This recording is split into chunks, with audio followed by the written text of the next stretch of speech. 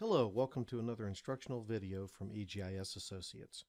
Recently, we've been getting a lot of requests about how do we set up a scale bar in a layout so that one inch equals so many feet. This is a, a pretty common practice here in the United States where we work a lot with engineering professionals and all that, and they're just accustomed to being able to lay a ruler down on any map or plan and determine measurements uh, from that.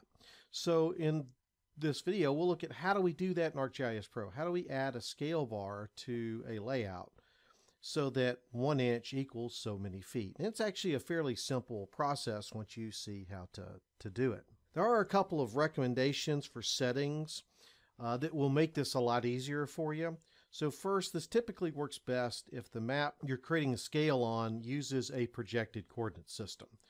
It doesn't have to be in feet, it can be in meters or some other units, uh, though feet is preferred. That way ARC doesn't have to work with any conversion on that. Also seems to work best if the map you're referencing with the scale bar is also set to use feet if that's not its native uh, units. Also, you need to keep in mind that there is a difference between the U.S. survey foot and the international foot.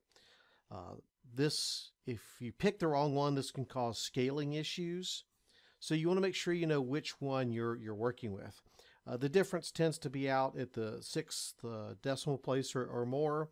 So for small areas, the, it, it, probably won't have a big impact, but for larger areas, it can cause uh, some problems. So with that in mind, let's do a demonstration. Let's see how do we actually configure and set this up. Okay, so I've gone into ArcGIS Pro. I already have a project open and I have a layout that's been created. Uh, I'm going to assume for the sake of this demonstration that you already know how to create a project, add a map, and create a layout. Uh, if you don't, then you may want to look at some of our other previous uh, videos for that. However, I've got it in here, and the first thing I want to, to do is verify that my map uh, is using uh, real world units and it's in a projected coordinate system. So I'm going to go over here into the contents pane under map frame, right click on the map that I'm referencing and go to properties. And from here I can see that yes, its map units is US survey feet, the display units is set to feet, and if I go down here to coordinate system, I can see that it's in the North American datum 1983 state plane Georgia West feet coordinate system. This is a projected coordinate system. So this should work fine. Um, now that I've done that, I'll go ahead and close that out. Next thing is I want to go ahead and set the scale for my map frame. So just select it here so it's highlighted. And then go down here at the bottom of the view window uh, area and type in the scale I want it to be.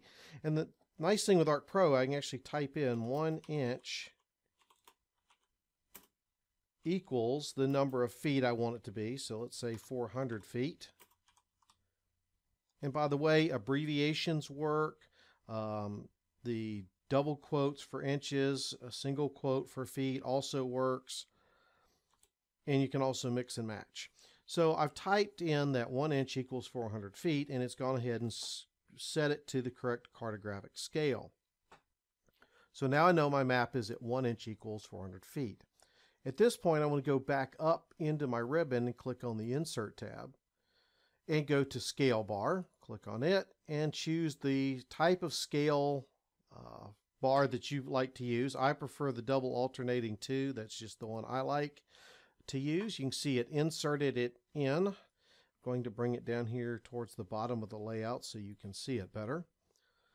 Also with this selected, notice that we've got two tabs that are uh, up here in the ribbon. We have the format and the design. Well, you can see here that it's set to miles. We want it to be in feet, so we want to change the design of our scale bar, and we're going to click the design and make some adjustments here. So the first thing we want to do is the resize behavior. We don't want the division value to change because we're trying to make it one inch equals 400 feet. So we don't need the division, these divisions here, to change. What we want is the number of divisions to change. So we're going to adjust this to adjust the number of divisions. Okay. Then we're going to go over here and change our units to US feet. because that's what we're working in.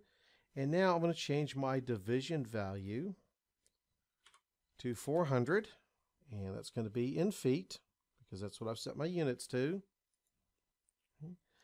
And now you can see it's changed my scale bar so that the distance from the 0 to the 400 when I print it out on a sheet of paper should be exactly 1 inch. So that would be 1 inch equals 400 feet. It's really as simple as that. Now from there you can go ahead and make other adjustments. If you want to change where it says US feet out to the side, that would be the, the label. So I could go ahead and say, so everybody knows what the scale is, 1 inch equals 400 feet. That so now everybody knows what the scale is. If I want to put it uh, below the bar, there we go. Right, so we can make those basic uh, adjustments. Now, one thing you do want to uh, be aware of, or one thing you may want to do, I should say, is you may want to change the focus or the center position of your map. If you want to do that, you want to activate the, the frame. So again, I'm going to select the map frame, go up here under the Layout tab and click Activate. So this allows me to move the map around to the location I want to focus on. So go ahead and set it to that. And at which point I go back up here to the Layout tab and close my activation. Now one of the things I typically like to do uh, to ensure that I can get back to this scale that I've set and this location is to create a bookmark. So I'll go up here to bookmarks, new bookmark, call it one inch equals 400 feet. Hmm.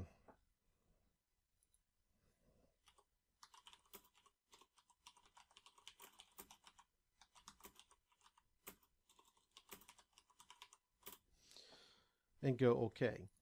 So that means if somebody were to come in here and, and change it, so they come in here and they activate this, um, and they start doing this and they zoom out and pan around and they really mess things up, right? I can come back here to my layout, go back to my bookmark, and boom, I'm right back there at the right scale. The other thing you can do once you've got this all set up the way you want to is to right click on the map. Uh, I'm sorry, right click on the map frame, go to properties, click over here on the display options and set your constraint to fix center and scale. Once you do that, now even if somebody were to activate that frame, they can't pan or zoom that's locked in that scale.